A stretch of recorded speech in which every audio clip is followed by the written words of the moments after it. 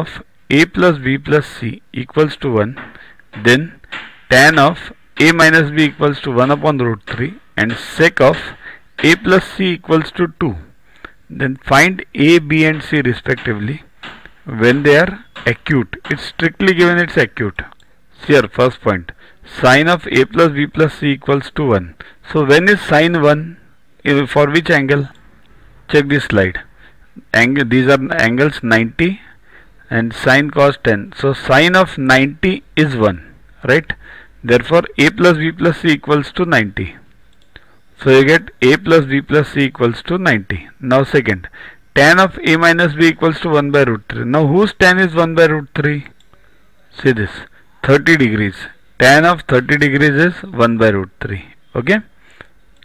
So we get a minus b equals to 30 degrees right? Now third sec of a plus c equals to 2 now whose sec is 2 see this.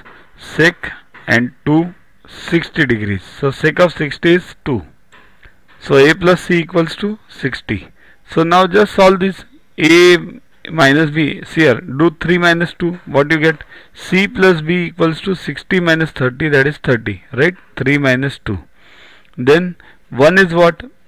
Here uh, it becomes a plus 30 equals to 90 right? Because a plus b plus c is 90 and b plus c we got it 30 so a equals to 60 so 2 is what? 60 minus b equals to 30 therefore b equals to 30 1 is what? 60 plus 30 plus c equals to 90 so c equals to 0 degrees.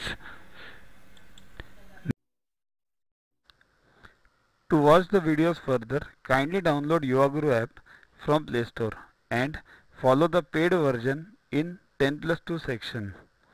You can also WhatsApp on the number 9960560404 to get the videos permanently on your PC and on your mobile. What you get in these videos?